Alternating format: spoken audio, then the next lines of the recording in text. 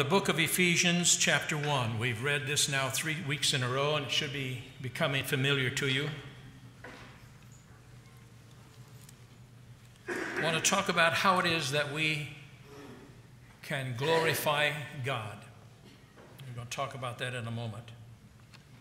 But read with me Ephesians chapter 1, the first 14 verses. Paul, an apostle, that means he was an ambassador, a representative of Christ Jesus by the will or the authority of God. To the saints in Ephesus, the faithful in Christ Jesus, grace and peace to you from God our Father and the Lord Jesus Christ. Praise be to the God and Father of our Lord Jesus Christ, who has blessed us in the heavenly realm with every spiritual blessing in Christ. For he chose us in him before the creation of the world to be holy and blameless in his sight. In love, he predestined us to be holy and blameless, adopted as his sons through Jesus Christ in accordance with his pleasure and will, to the praise of his glorious grace, which he has freely given us in the one he loved. In him we have redemption through his blood the forgiveness of sin in accordance with the riches of his God's grace that he lavished on us with all wisdom and understanding. And he made known to us the mystery of his will according to his good pleasure, which he purposed in Christ to be put into effect when the times will have reached their fulfillment, to bring all things in heaven and on earth together under one head, even Christ in him we were also chosen, having been predestined according to the plan of him who works out everything in conformity with the purpose of his will, in order that we, who were the first to hope in Christ, might be for the praise of his glory. And you also were included in Christ when you heard the word of truth, the gospel of your salvation. Having believed, you were made, you were marked in him with a seal the promised Holy Spirit, who is a deposit guaranteeing our inheritance until the redemption of those who are Christ's possession to the praise of his glory. There are words, there are phrases, there are concepts in the Bible that we use frequently that oftentimes we don't know the meaning of, the full meaning. We don't grasp it because we haven't taken the time to study it. Such words as sanctification, justification, glorification, all those other ication words that we use and we don't quite grasp what they are. And the word glory, I think, is one of those words. It falls into that category. Glory is a word that we use, we just sang it. But if I were to give you a pencil and paper and give you a test and say, define glory for me, a couple of you would fail the test. In chapter 1 that I just read, in verses 4, 12 and 14, the apostle tells us that we are redeemed and we are built up spiritually to the praise of God's glory. And I'd like to take the next few minutes and let us examine what the meaning of God's glory is, and if possible, kind of determine do we contribute in any way to it, or what are the benefits that we derive from God's glory? According to Zondervan's Bible Dictionary and a couple of commentaries that I looked at, both in the Hebrew and the Greek, the word glory has essentially the same definition. It refers to the honor and the dignity of glory of God. It speaks of acknowledging all of that which makes him impressive and someone of importance. Glory includes all the things that make someone important and admirable. And so when we read in the Bible about God's glory, we speak to something to do with the praise of His glory. It always has to do with His character. It honors him. It, it talks about making him imposing, impressive, and it deals with his character, who God is. As an example, if you go to Exodus chapter 34, verse 6, you'll find the event where God met with Moses on the mountain, Mount Sinai, and there he was being given the Ten Commandments. And after and before, after he gave them to them and before he left, God said to him, said of himself, The Lord, the Lord, the compassionate and gracious God, slow to anger, abounding in love and faithfulness, maintaining love to thousands and forgiving wickedness, rebellion, and sin. All of those words there describe who God is. They, they, they speak of his character, they speak of his nature. They summarize the totality of who God is. He is loving, He is compassionate, He is gracious, He is slow to anger, He forgives sins, He is faithful. They speak of who God is. We're exposed to who God is in the first chapter of the book of Genesis. There it says that in the beginning God created the heavens and the earth. And there is a Hebrew word, grammar word, that describes what happened there. It's the word duvar. And it means that God created all that He created out of substance, out of nothing. He didn't have the atoms and the molecules, those, all those things didn't exist. He simply spoke, and the heavens and the earth came into being. Gives us an idea of who God is.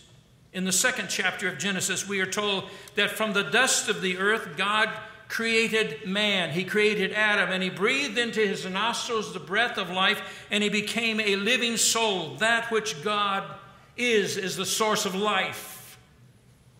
He is the creator, the sustainer. In Jeremiah 32 27, we hear God say, I am the Lord God of all mankind. Is anything too hard for me? And I don't know if you've ever had a smart aleck ask you the question, well, can God make a rock too big that he can pick up? Have you ever had that question asked you?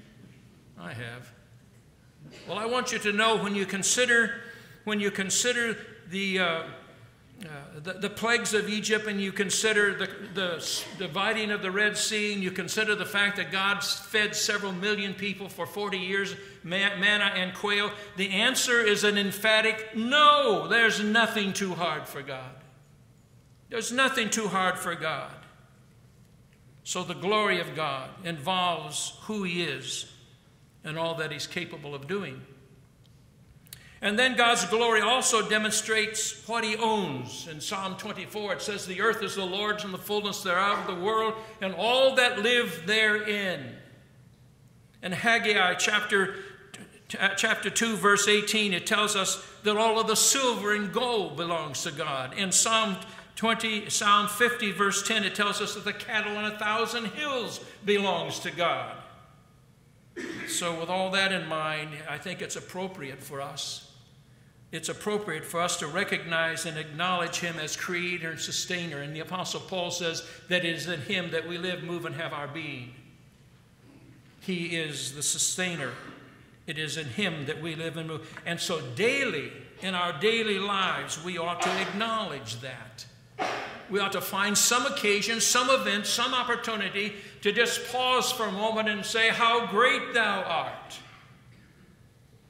I've watched the terrible scenes that we've seen on TV for down in Texas, and my heart's been broken. And, I, and I've sat there and, and, and said, God, you have spared me, and you've been so good to me and to my family. I'm utterly astounded at your kindness to me because of, his, of who he is and what he owns and what he does. It seems appropriate for us to bring glory, and, and, and, his glory reveals who he is and what he is and, and what he can do and what he owns. And, and in the light of that, I think there's an appropriate question to be asked.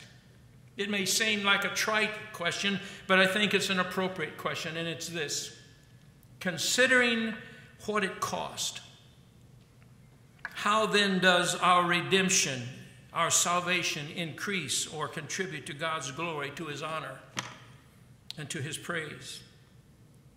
And I would like to offer three answers to that question because I've pondered that for some time. The first way that we can bring glory to God and that contributes to His glory and His honor and esteem is for us to do what I said a moment ago, for us to praise Him. To open our mouth on a day by day and say, Thank you you are worthy. You are honored. I honor you. I glorify you. I praise you. I worship you. You alone are worthy of my worship. Daily do that. We can honor and pray, and it brings glory to Him. Thank Him for our life and our health and our strength. Thank Him for our family. Thank Him for meeting our needs. Thank Him for this church family. Brings honor and glory to Him. To acknowledge His power, to acknowledge His grace, His mercy, to acknowledge His love that has been exhibited to us. As I grow older, and I am growing older, I become more aware of how remarkable it is that God loved me enough to forgive me of my sin. How remarkable it is that God loved me enough that He chose to forgive me and He chose to make me one of His children. That's, that's, that's remarkable. And the older I get, the more I become aware of how remarkable it is that God gives me peace, gives us peace in this very troubled world. Peace of heart, peace of mind, to be at peace with God. To know that there's no, that there's no antagonism between ourselves and God. That we have trusted in His Son, we've accepted forgiveness, we've asked for and accepted forgiveness, and there is peace that passes all understanding and joy that is unspeakable and full of glory. I, am, I, I stand amazed at that. There's a second way that we can bring glory to the name of God, and I think it's, it's, it's allowing Him to change us, to change, to change our lives. History has demonstrated for us, if you read any history at all, you know that history demonstrates that only God can bring about real, meaningful change in a man's life. All of the how to books that has been written cannot do what being born again will do in just a moment. Being changed from death into life, from being blind to being able to see, being an enemy of God to being a child of God. There's He brings it about by the Holy Spirit. You remember the guy named Jacob?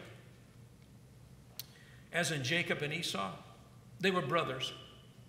Jacob's name meant deceiver and supplanter, and why you would name your son Jacob is beyond me. But he turned out to be a guy who was constantly looking for a way to enhance his position. He was looking to come out top, and yet through an encounter with God, through an encounter with God, the man became so changed. His nature, his character became so changed that God changed his name from Jacob the deceiver to Israel, the one who struggles with God. And then there's a guy named Simon. He was a fisherman. If we have any idea about who he was, he was sort of loud and he was probably hot headed. But when he encountered Jesus Christ, his life was so dramatically changed that Jesus changed his name from Simon the Pebble to Peter the Rock.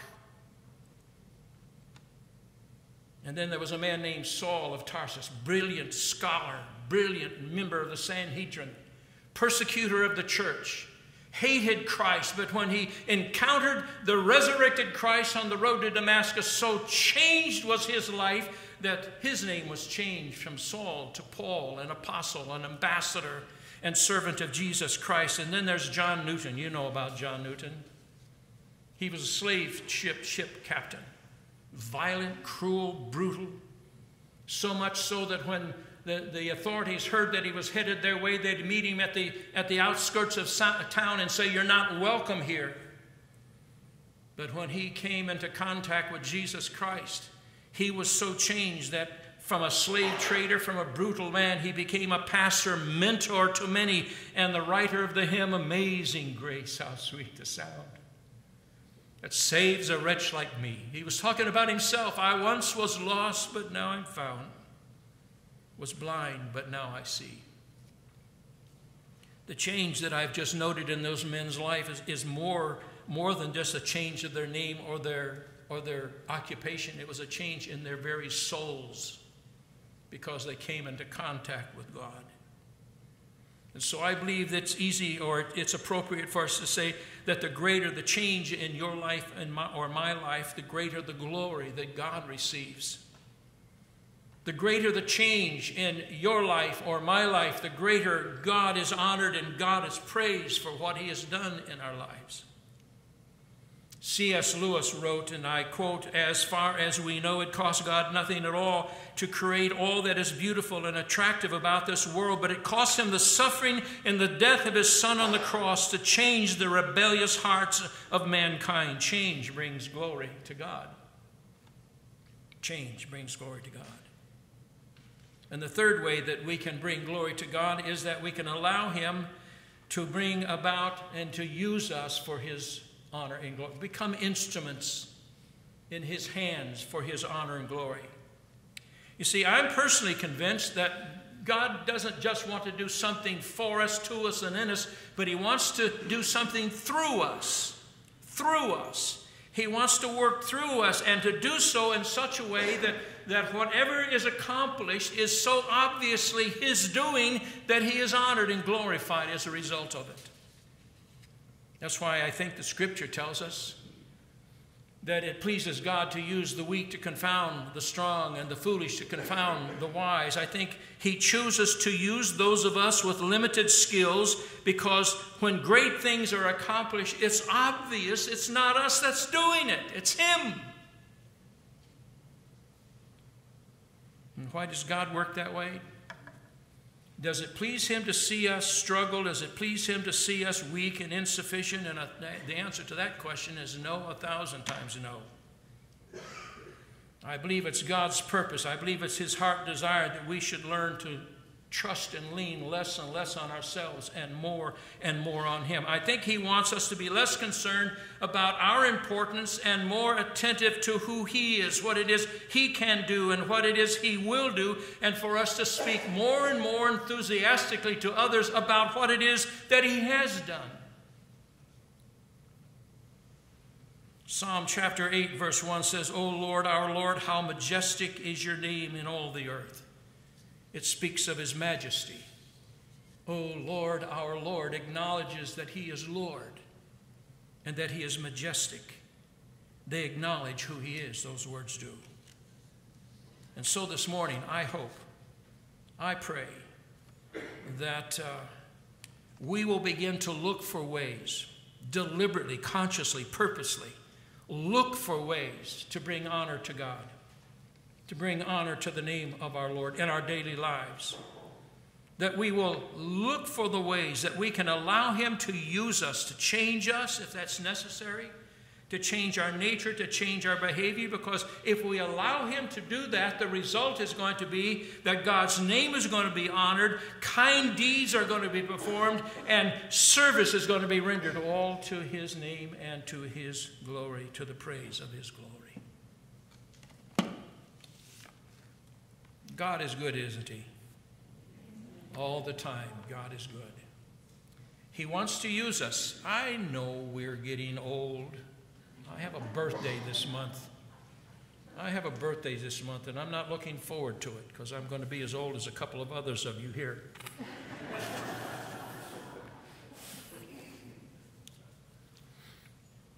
but I want you to know that the fact that you're sitting here this morning, that you're alive and that you're well enough to be here and that you desired and you wanted to come to the house of the Lord is cause for us to give him praise and honor and to thank him. Because I know a few folk in our congregation who would love to be here this morning but can't be. Can't be. But to the praise of his glory, we're here. And we've been able to sing and we've been able to pray and we've been able to meditate. And you've heard me rail on now for 15 minutes about God's glory. Don't walk out of here this morning and forget it. This week, praise Him, would you? Thank you, Lord, for these moments together. Thank you for this time of song, of prayer, of thanksgiving. Thank you for our guests. We've not acknowledged them all. We've not we kind of bypassed that today, but thank you for their being here. May their hearts have been touched. Let what we do and what we say throughout this week bring honor and glory and praise to you because you are worthy. You are worthy. And I thank you in the name of Jesus. Would you stand with me this morning and let's sing the little chorus In my life, Lord, be glorified. In my life, in my home and in this church, Lord, be glorified.